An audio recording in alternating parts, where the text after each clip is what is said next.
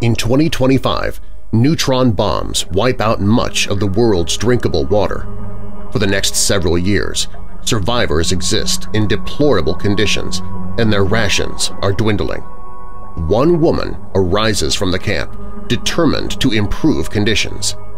Charlotte is ready to do whatever it takes to ensure clean water for her fellow survivors. Water is almighty. Whoever controls the water rules the world. Can Charlotte prevent the power from falling into the wrong hands?